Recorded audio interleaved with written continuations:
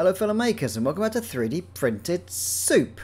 Now I do love me a pegboard and IKEA do some fantastic pegboards.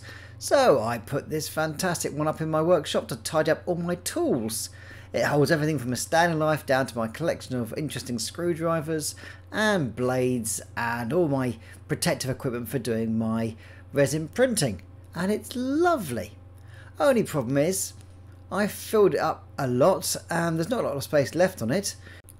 And there's just a little bit of space down here on the bottom right which I'd love to fill up with another one.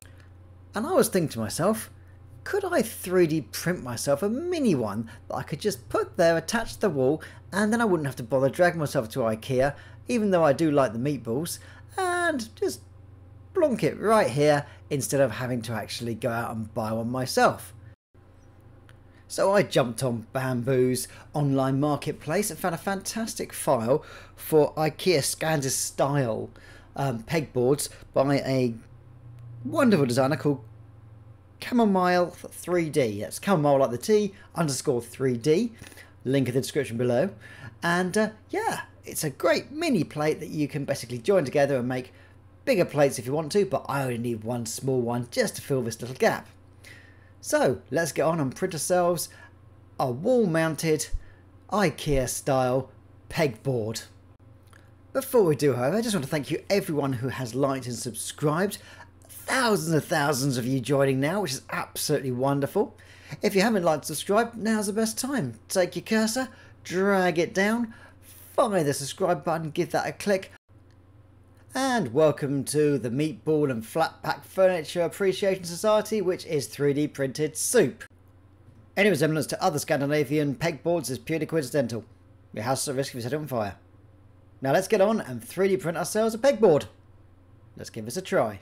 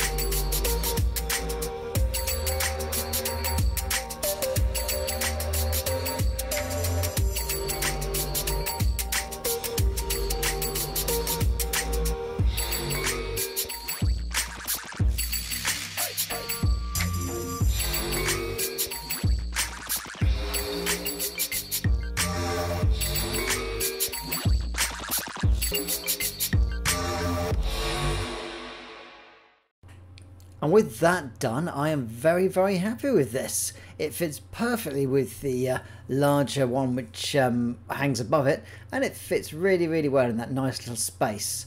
And yeah, I can put my uh, spare hangers on there, I put my keys on there, I can put my headphones on there, and I can put any of my uh, joypads I'm not using on there as well.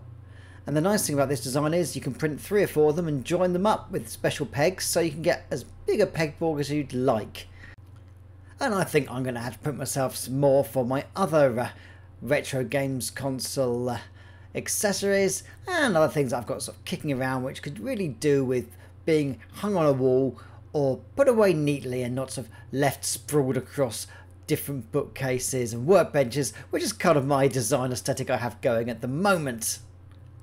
Thank you so much for watching 3D Printed Soup. Don't forget to like and subscribe. Also, if you're in a position to help out the channel, check out our Patreon where you can get access to all kinds of extras, bits and pieces, and also make suggestions for future videos and stuff you'd like to see from us in the future. So, thanks for watching 3D Printed Soup. Stay happy and safe. Keep pegboarding.